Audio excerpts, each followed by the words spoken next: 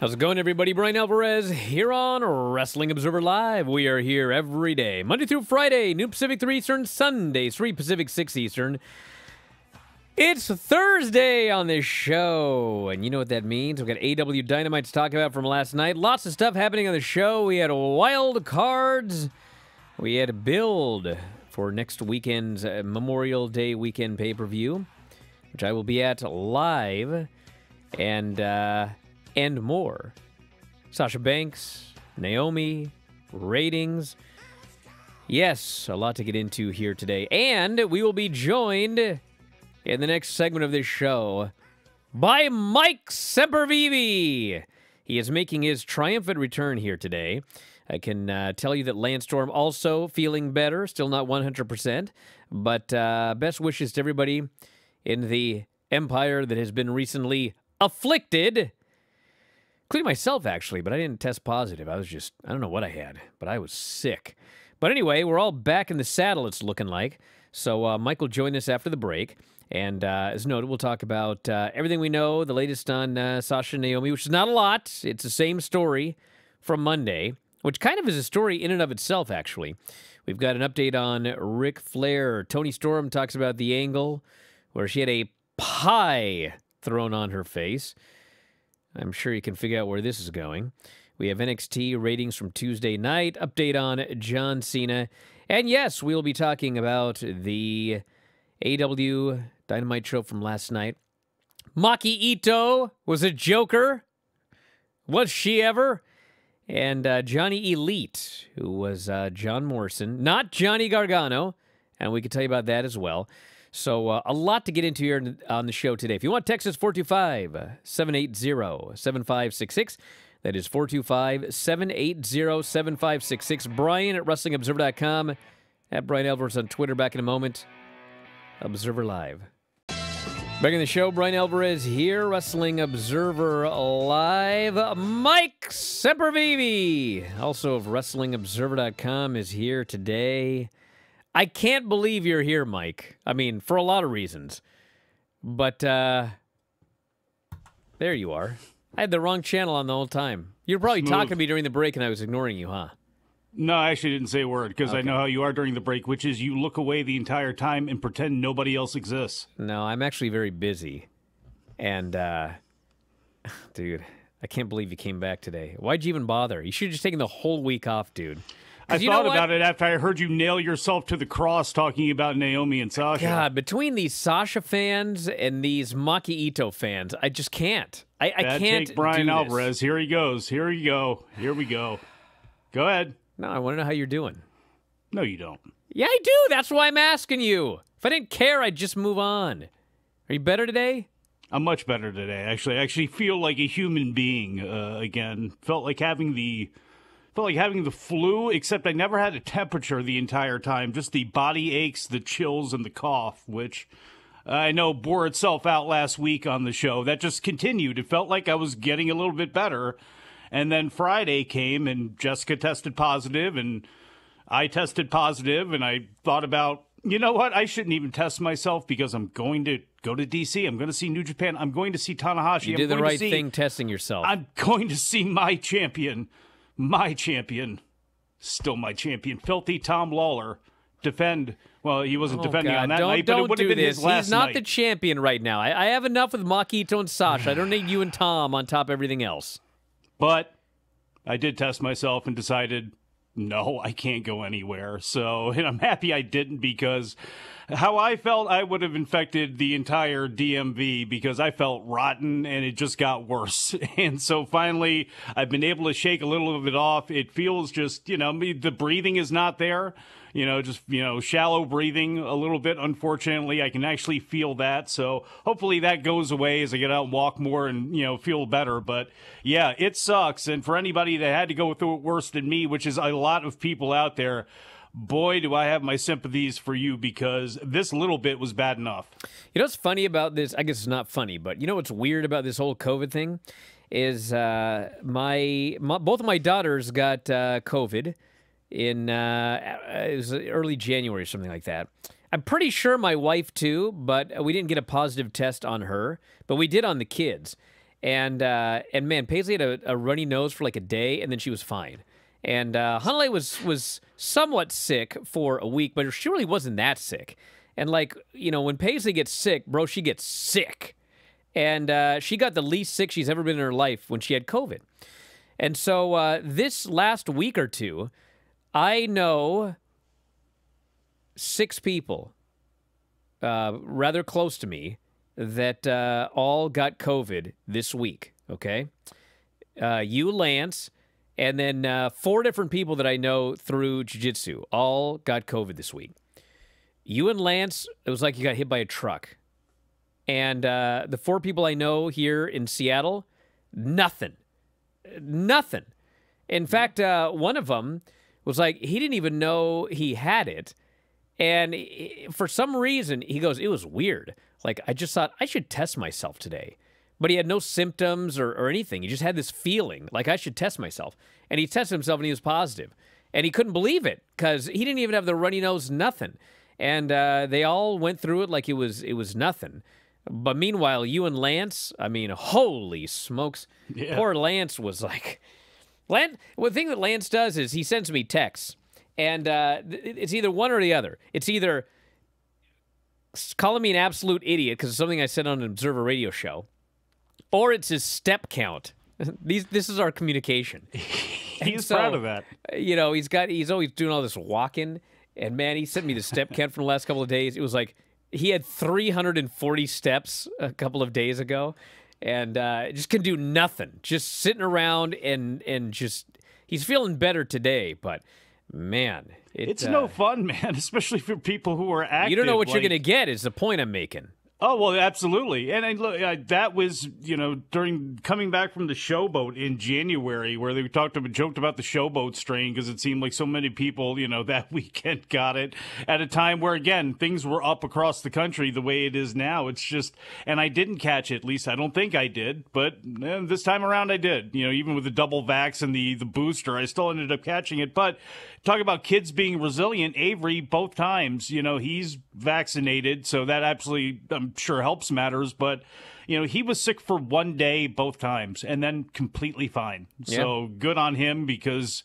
again, thank God for kids. They are resilient. All right, we're going to talk. Uh, I'll talk a little bit about Sasha and, and Naomi right now. Do you have to? Well, uh, this I just have a point that I want to make here because oh, Jesus. Uh, you got you know, your thorns ready put these, on your head? These Sasha fans, and oh. uh, it's different kind of fandom with Maki Ito, but the Sasha fans. They're both hard headed? You know, we, Dave and I talked about this on Observer Radio last night, and we pointed out that, like, on the grand scale of things to be upset about booking wise, like, you're one half of the tag team champions and you and your partner are going to win a big number one contenders match, or your partner is on Raw.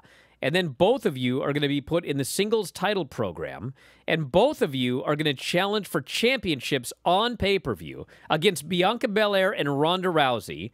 And in the end, you're gonna you're gonna lose. But you know the idea that this is seen as some horrible, offensive uh, walkout in the middle of a show. But I mean, people are so mad at me and Dave. And if you look at the thread, I mean, some of the things that people are saying in defense of Sasha and and Naomi, it's it's like it's insane. Well, it's can like, I try to have a rational conversation well, in a second, about this? I, I got a point I got to make, and they're like, there has to be more. It makes no sense. There has to be more. We haven't heard their side of the story. There has to be more. They, this can't possibly be. And here we are, and it's Thursday, everybody, and there hasn't been more. There hasn't been more. I know it's hard to believe that their side of the story may in fact be exactly what happened, but I'm pretty sure that their side of the story is exactly what happened. And if you're this big a fan and you can't fathom that your Sasha, she probably did. And that was her decision. And yeah, it, it doesn't make. And I had people that were like, you know what? It's better they walked out in the middle of the show instead of actually doing the match and then walking out. And I'm like, so you're such a hardcore fan of this person that you're advocating them for them unprofessionally walking out in the middle of a you're that is your I'm like I don't get it dude They learned from Bruiser Brody, brother. That's they the big fans of Bruiser Brody. Um, this has felt since the time that it happened that this is not about the creative per se directly 100%. And there is one side that as of now isn't really talking. We do know part of that side has got a contract coming up. We do know part of that side has had issues in the past with their creative and feels very confident in themselves in some kind of way about how they should be treated. I just feel like there's probably more than this than the creative, and everything keeps coming back in the conversation to, well, you know, this is stupid, but it's by WWE standards, it's not that stupid. That it just feels as though, and I could be dead wrong about this, and, and we'll see. I have no real opinion on this until we, we find out more from it. This is like that Cody Rhodes leaving AEW situation. I'm sure there's a lot to unpack, and it's going to have to unpack itself, and I'm not the person who can do it. And I'm not the person who can do it here but I will wait and see what kind of happens here because with all these factors at play, including how Sasha feels about herself and her character and how she may feel as though she could function outside of WWE. Naomi, who they have never given any credit to whatsoever. Remember, she was the third draft pick on Raw the last time around, and then she disappeared off TV for months. She had a, a, a feud with Sonya Deville that nobody could figure out why it was happening, except for something that we won't talk about. That that seemed to be that's what the angle was. It's like, and she's towards the end. You know, again, maybe this has got more to do with leveraging contracts and not as much to do with creative. Back in a moment, Observer Live. Yes. When those contracts were negotiated the last time around, was Johnny Laurinaitis the person in charge of that? He was not, right? Because I, I he came know. on. He came on last year. I don't know. Interesting. I just I would be interested to know uh, if that has any. I I, I know that like everyone's kind of talking about this contract thing, but this is um, this, like. But but Brian, look, they're independent contractors. If you look, you can stamp. They can stamp their feet, and they can. Was this professional? No, no. You can say it's not. Um, do they have a reason to feel the kind of way that they do? I don't know that yet. We don't know that yet. Even with reputation aside, with Sasha, with Naomi, you know, people are already saying, "Well, this isn't." Was Naomi uh, manipulated? Was she this? Was she? I, I, don't know. Let's. We'll have to wait and hear from Naomi. You know, or well, Naomi's listen, representation. I can tell you this. And until that happens, I, you know, again, the way the contracts are, the way all of this is happening, I think a lot of attention is being put on the the booking of how we're going to look out there in the ring. Which, look, if you want to be like there have been times, uh, many, many times, where somebody has said the booking shouldn't matter, but then it actually affects their career trajectory. Now, I don't think that it's going to happen in this case, but like, no one can act like when Sheamus ran away as a geek from whoever it was. Remember that when he was king, and then all of a sudden it was like he should have never done that, and it's like this is modern times WWE. This is this is actually really affecting him backstage, but for some people it did, and it's like it is such a dumb, wacky place that I it is hard for me to stand firm on a judgment here on any of this stuff until more of it plays out. Dude, these these uh, oh, they made the right call because it's bad booking. like, I know you guys love Sasha. Okay, I know you love her. All right, she has not been badly booked. In fact, she's been booked better than most of the women in WWE. Okay. Now, would it be Brian? And hold on, hold on, hold on, Would it be no? Hold on. Is it fair to say maybe that she just doesn't want to work with Ronda Rousey? Right no, now? that has nothing to do with it. Okay. Listen. The the idea here is that your women's tag team champions were going to be in contention for the singles championships, and a storyline literally leading to a pay per view where the story is you are you two are so good that you might walk out of this pay per view with every women's championship in this country. That what was be- that's what was being offered here. Now, granted, they were going to lose, but dude, you realize that as tag team champions, they feuded with Naomi and uh, and Shayna, and they lost to build up to those matches, and they feuded with Rhea Ripley and uh, and Liv Morgan, and they lost building up those matches. So don't even tell me, oh, well, they were going to lose.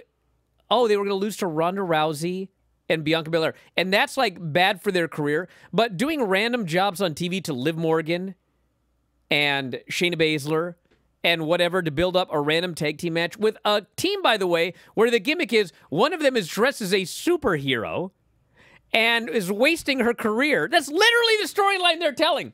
This, you're telling me, is much better for their careers than the storyline where they're trying to win every woman's belt in the company, leading to a pay per view. Where you know there's no chance they're not having a good match with Bianca and Ronda Rousey. And yeah, they're going to lose in the end. But this is not a bad storyline. This is not horrible booking. This is not the culmination of years of horrible booking with Sasha Banks. She was upset about this. And uh, I can tell But you, just this. I mentioned this. Does uh, this seem like a trigger point for other things? hey, listen, she's had a Does lot Does this of. seem like a, if you now put on your psychologist cap for a minute? Does this seem like that would be a final breaking straw sort of situation? No, it doesn't seem like that at all, Or but did- apparently okay. it was. She's had a lot of issues over things for a So long there you time. go. And here's the deal. I talked about this Monday, and of course, you know, people got mad about it, and then they had to grasp it. any anyone that said anything positive. Oh, you got mad As about of today- people talking about you. As of today on this show, okay, I'm sure you could find a handful of people that are supporting Sasha Banks. And by the way, still nobody's talking about Naomi. It's all all of this is all about Sasha. well, which does that funny. also say something too? But Does my- that- my that's point is- that's very interesting to there me. there is there is still almost no support for Sasha. Among management, I can almost say I can't say 100%. I haven't talked to all of management or anything like that, but it's the same deal with management. I think that would be a fair there thing to no say. support. She, she there is is no thorn. support for her from management. So like there's there's nothing that has come out or changed or or anything like that. I mean, there's there's actually uh, some stuff happening where I could just tell you management is very upset about this situation. And uh, They and didn't I, have this energy more. for Toni Storm. No, they didn't. They didn't. They don't, and then and again the the lack of anybody seemingly saying anything about Naomi. It's like, is that not to anger other family members? Is that because somebody uh, again th- that is interesting to me? Whereas this, the response to Sasha from inside WWE. It was anybody surprised by that? Is anybody really surprised by that? That management would go, we we don't want to deal with Sasha Banks. I mean, you know, This person says, "Who cares one iota about support for management?" Well, would you ever like to see Sasha wrestle in WWE again? Because if you would, They then you probably probably should be though. concerned about the I, the management. Because like management's going to decide whether she ever comes back or not, or whether she's tells me this fired, person will follow them or whether they freeze the contract. Mercedes Varnado wherever she goes. Which, by the way, is a pretty cool name. She does have that going for her. Who cares about what management thinks? That's the whole crux of the story, everybody. Whether you ever see her on WWE again is going to be based on what management decides. That's it. And she is under contract. And so if she walked out on her job, they can freeze her contract. So she can't just leave and go to stardom or AEW or whatever. Like, and that will also be in the hands of management. So, in fact, if you are a fan of Sasha Banks, yes, you should probably care very much about management's thoughts of this because she signed a contract and thus her career is in the hands of management. Do we all live in another fantasy world where that's not the case? Somebody make the cartoon of Brian doing the Vince, like the, the future of WCW is in my hands. The future of Sasha. Yes. Should I talk about some other stuff now? You guys Can I walk off this? this show now? Can I walk off my I'm ready to put my now? stuff down and walk off. Jesus. Everyone, Oh, no, you built this empire. You you you're going down with it first. everybody, Mike, Yes. everybody should Everybody? hope, should hope Everybody. to have fans like Sasha Banks has fans. I do. I wish. Yes. Wish I had a hive like that. Maybe now that the Adam and Mike Big Audio Nightmare has escaped from behind the paywall, I will get a hive the size of Sasha Banks. That's what I'm hoping for. Toni Storm says the original plan for her pie throwing angle with Charlotte Flair was for her shirt to have been ripped off. Flair hit the 26 year old with a pie during the November 26, 2021 edition of SmackDown. Storm appeared on the AEW Unrestricted podcast, released on Thursday, and spoke about what was planned for the segment. I was actually quite happy with that segment that day because it was a lot better than the original idea. The original idea was I was called up and asked if I was comfortable with having my shirt ripped off or something. They wanted to do this whole angle where it was like they were going to rip my shirt off and I'd be embarrassed in my underwear. When you're asked if you're comfortable, if you're to do that, and it's like literally people are being fired every single week. It's like, well, yeah, I guess I'm comfortable with that. I guess I'm going to do that. Then a lot of people thought to not have that happen because that would have been terrible, a terrible idea. So to be honest, the pie was actually like, it was quite a sweet treat in comparison to what it could have been. In hindsight, I don't really mind. I'm not even mad. People think I'm mad about it. I think it's actually hilarious. And uh, she commented on her time in stardom. Said, I didn't realize how much of my heart was still in stardom. I guess I always did realize it, but I never got over it. Spent so much time there, more than I realized, because my life moves so quickly that I, you know, it's funny. It's like, uh, I don't know. I don't know. What? She walked out between Washington D.C. and Baltimore. Well, I mean, she actually did the job in the championship match and then left. She didn't. She wasn't advertised for a championship match with Charlotte, and then 15 minutes into the show, walk out and have them rewrite the. She didn't do that, you know. Well, you know what? I don't have much sympathy for him there. That's what they do on that show is they tear up the script while the show is going on, right? So they should be used to this. It should be old hat for them. And look at the job that they did. They they didn't miss a beat on Monday night. NXT 2.0, 601,000 viewers, up 12.8% from last second. week's record low, 18 to 49 at 0.14, up 40%. You know the funny thing about this show, everybody? It was more than old people. So uh, last last week they did the uh, the show with all women's matches, all women's matches up and down the show, and uh, it did a record low rating. And so the week after, they did a show with all women, women in every match. The female rating for the show this week cratered. NXT drew drew a, a .24 in males 18 to 49, which is the highest number the show has done since October. In women 18 to 49, it did a 0.05, the lowest the show has ever done. See, women hate women. It tied a record low with females 12 to 34. Anyone who's ever dated knows this. So, uh, yeah, these women, zero women, statistically, watched NXT 2.0 this week. so But oh, a lot of men watched it. is And boy, did those men pop when she did that interview talking about how she was 18 and had not graduated high school yet. That's what happened. Back in a moment, Observer Live. Back in the show, Brian Alvarez here, Wrestling Observer Live. Mike Sempervive, also of WrestlingObserver.com. We're going to do the Dynamite Report. But first, a shout out here today. Loyal listener and friend Chris in Vegas works at Ruby Thomas Elementary School, and today was career day. Yes! Ruby Thomas Elementary School, Las Vegas, Nevada. The grade K through 5 classrooms got to hear from my lovely wife Whitney talking about Whale Scout, and from myself. I got to tell those youngsters about my career here as a radio show host and etc. And man, I had a great time. A lot of wrestling fans in the class, actually. And uh, they talked about some of their favorite wrestlers. You never guess who some of their favorite wrestlers are.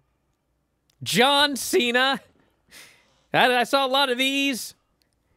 And uh, Rey Mysterio was mentioned, actually by one of the teachers. She used to watch Rey Mysterio.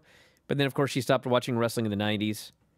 And uh, and I don't think we had any mention whatsoever of anybody in modern day uh, WWE or, or AEW. Just a lot of John Cena fans.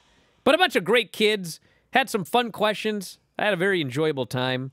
So I want to give a big shout out to all the kids at Ruby Thomas Elementary School. Did, it someone last year. I did it last year. I did it this year, and I'm going to do it again next year. Do you have a kid that like telecommutes there somehow, or what? What's the what's oh, the it's deal? Chris in Vegas' school. And I, I told him I was going down to Vegas for the show next week, and they wanted me to stop by the school but they'll be out of school, so I Why can't Why are you by. both doing it? Is it one of those things where, like, you know, you're forcing him to pay you, but then What you are you say, well, you talking can have? Whitney on, and then it you can was write it off? career or- day, and he asked us both to go and talk to the children. We didn't get any money for it. Well, I just went and talked to the kids about careers. Why does there have to be an ulterior motive? Why does there have to be a conspiracy? That's the story of my life this last week. Why does everything have to be a conspiracy?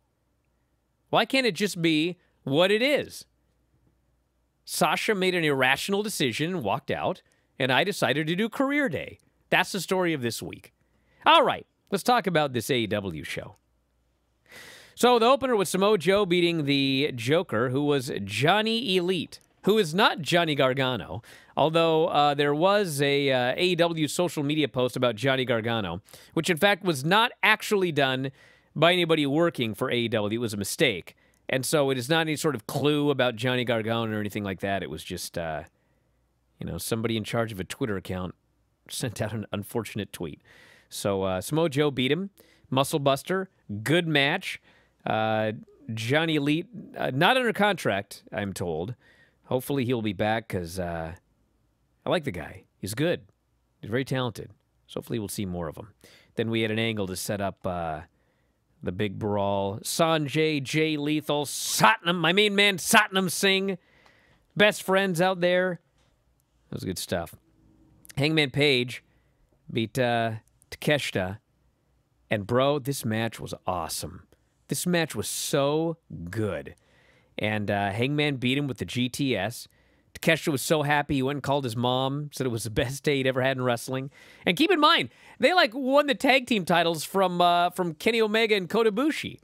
But this was the highlight of his career, he told his mother. And it was awesome. And then afterwards, Punk and uh, Page had a stare down, and and Hangman Page stormed off. He's gotten to, is the storyline. He's gotten to. Keith Lee and Swerve Strickland beat JD Drake and Anthony Henry. Afterwards, they sent, set up a three way for the pay per view. It is uh, Ricky Starks, Powerhouse Hobbs, Jurassic Express, Keith Lee, and Swerve Strickland, three way for the tag titles. And they'll also be doing three way singles match next week Swerve versus Ricky Starks versus Jungle Boy. So that's next week. And Christian is the one that threw Jungle Boy into that match. MJF segment with Wardlow. My God, this segment was awesome. This MJF, I don't know if it's just you know, it's it's a lot of things. He is an awesome heel, but also all this stuff that gets out about him and in WWE, they just get even more angry at him, and he's just nuclear heat in the building. And he comes out to give Wardlow the lashes, and first Wardlow laughs. And then he just doesn't even sell it. And of course, this makes MJF just furious that he's not selling these lashes. So then uh, uh, the 10 guy, always forget his name. He gives a lash or two and Sean and Spears. Shawn Spears and and now Wardlow did sell the ninth one. But then he just ah, one more he says. So MJF boots him in the jingle jangle in case those kids at the school are listening and he starts just whipping the heck out of him and uh, lays him out with the diamond ring. Spears hits a C4. Dude, this was such a great heavy heat angle, and the people are just living and dying with Wardlow. This was awesome. Owen Hart Cup Tournament quarterfinals. Kyle O'Reilly beat Rey Fenix with an armbar to his bad dislocated arm. Uh, very, very good match. I, I kind of thought they might have a styles clash, but they didn't. It was a really good match. And Kyle O'Reilly goes to face Samoa Joe in the semifinals. We had a very long Jericho Regal face to face confrontation with all of the crew. And uh, to cut to the chase, uh, Jericho wanted Stadium Stampede. And uh, Jon Moxley, who I've mentioned this before, I mean, what you see is what you get with this guy. He ain't no gimmick.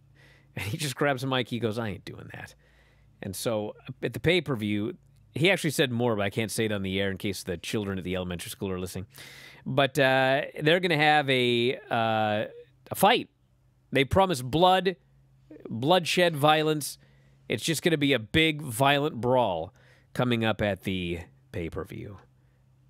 Blackpool Combat, Combat Club and the Jericho Appreciation Society. Yes, Maki Ito, everybody. Maki Ito was there with Britt Baker, and uh, they had a short, somewhat comedic match, but uh, stuff earlier in the show had gone long, And so it was very rushed, and the referee's like screaming at Britt to like go do her, do that. So she puts on her hold, gets a submission, and uh, then we had a stare down with her and Toni Storm. So one difference between uh, WWE and AEW is that uh, if they if they need more time in WWE, they will cut a segment. But uh, they had a segment here with Serena Deeb and Dustin Rhodes, Tony Schiavone, and Thunder Rosa. And bro, they were rushed for time, but they were not going to cut this segment. And when I watched this segment, with all due respect to everybody, you should have cut this segment. It wasn't a great segment. You can do this angle on any show. I know they wanted Serena Deeb to bury the way that management treats the women in WWE, but like you could have done that Friday, you could have done that next Wednesday. You could do that from now until the end of time. But they had to get it on TV, and as a result, the main event got about six minutes. Adam Cole and Jeff Hardy, and it was just like boom, boom, boom, boom, boom. Jump at the bell. Go, go, go, go, go. And uh, Adam Cole hits the boom after Jeff Hardy misses the, misses the senton. And then they still had to do an angle afterwards. So they're rushing this angle. The Young Bucks are out there. Uh, they attack the Hardys. Sting and Darby come out. Red Dragon takes them out. They kill poor Darby with a high low on the ramp. O'Reilly Pillmanizes uh, Sting's ankle with a steel chair. So I'm not sure where all of this is going, but they had to get these angles in. And so I guess we'll find out. They got uh, Rampage on Friday, and they got uh, Dynamite next week to finish the card for this pay per view. So I thought it was a good show. I didn't think it was a great show. I can have Fauntleroy do the spoilers for uh, Rampage, not the spoilers, the lineup for Rampage uh, after the break. But I do want to mention here, okay, Bryan Danielson. You probably saw the video if you go on social media. So they were doing a melee on a Rampage, and Bryan Danielson is like Rumpelstiltskin. His leg goes through the between the ramp and the ring apron, and he's stuck and literally, like the reports live where it took five to ten minutes to get him out. And then, uh, you know, I, I, had other people that, that say it was only about five. There's no way it was 10 minutes. And then I talked to other people that were there, and it was like, there's no way it was five. He was down there forever. So everyone was all worried that he was hurt and everything like that. And uh, and this is what I can tell you, okay? What's so funny? what is what is what is Bryan Danielson getting his leg caught between the ring? What does it have to do with Rumpelstiltskin? You don't remember the story of Rumpelstiltskin? He spun straw. No, but the story the story of Rumpelstiltskin is like you had to you had someone had to figure out his name.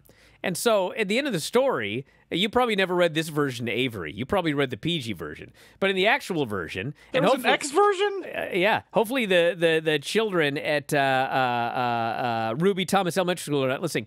But he gets really mad when they figure out his name, and he starts stomping on the ground, and he stomps a hole in the ground, and his leg goes through the hole, and it tears him in two. You didn't know that? No. Yes. No, that's the end of Rumpelstiltskin. He got torn in half when he stomped a hole in the ground. But can I get to the point?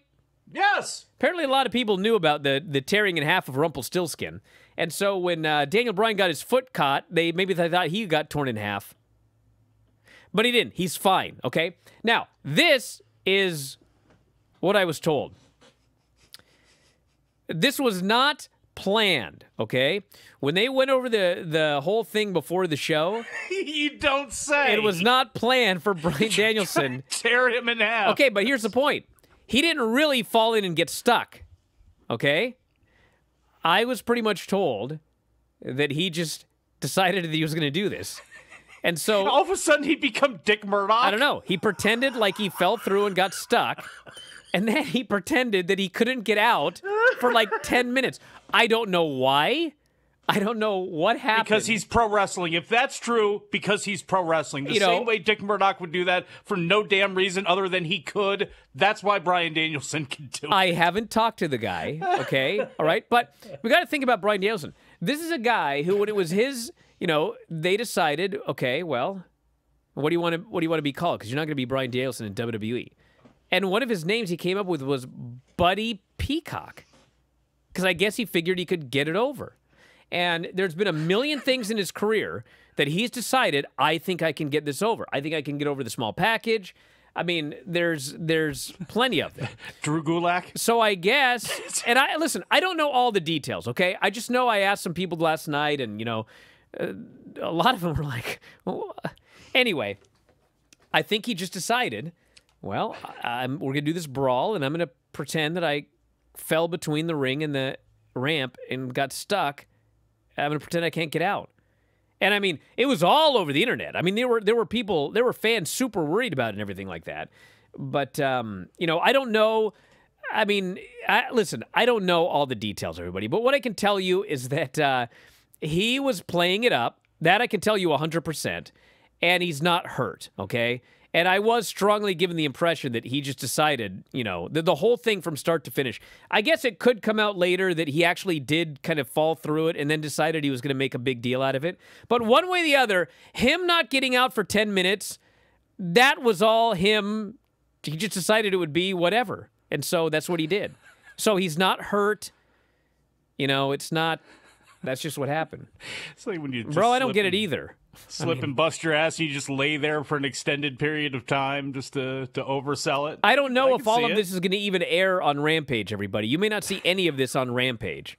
You know, they may have just started the brawl and then they go to break and they come back. Because trust me, there's not, you're not going to watch him sitting there for 10 minutes in a hole. Okay? I'm sure it wasn't it's, 10 minutes. It's a one hour show. Oh, I was I was pretty much told he was in there a long time. Like it may have been 10 minutes. Well, may have felt like it.